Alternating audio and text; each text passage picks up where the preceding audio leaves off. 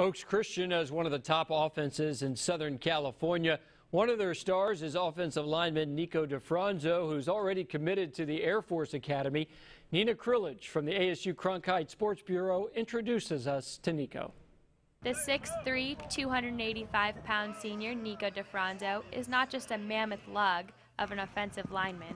Instead, he is a smart, analytical, disciplined, and goofy member of the Oaks Christian High School football team, and someone whose experience will be crucial as the season winds down. Well, Nico is an emotional leader. You know, he gets out and uh, with, with, two experienced offensive line, him being one of them, uh, we really look at him to, uh, you know, help out the, the younger guys. We start three sophomores and two seniors and uh, Nico being one of the seniors, we look for him for leadership on the line and, and to really set the standard for excellence uh, in, in his work habits and practice. I've tried to be a student of the game and decide stuff play by play and like moment by moment. I don't just it could be a bad part of me, but I don't just go play football. I really think about what I'm going to do before I do it. Nico is methodical in his approach to his craft.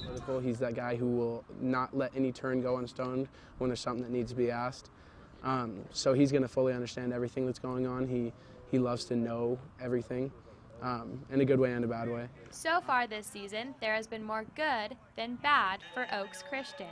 The Lions have piled up massive offensive yardage, due in no small part to DiFronzo's work up front, protecting five-star recruit Matt Corral and driving holes for running back Brandon LeBray.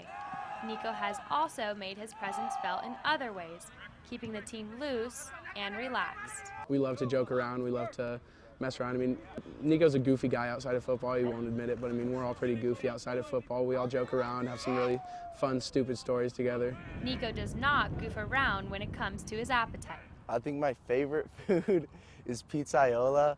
It's um this Italian dish. It's basically like slowly cooked steak that's sliced up in a pan with tomatoes, onion, garlic, onions, all that and it's just delicious. You have some pasta or rice, it's really good. Whether it is eating, studying, or preparing for football, DiFronzo's daily routine requires him to be buttoned up. Oaks Christian has a really weird schedule, so where most schools have like a class of weight room, a class of like meetings and film, Oaks Christian, we don't really have that luxury to do that. So we only have 18 hours of on the field practice and nothing more than that.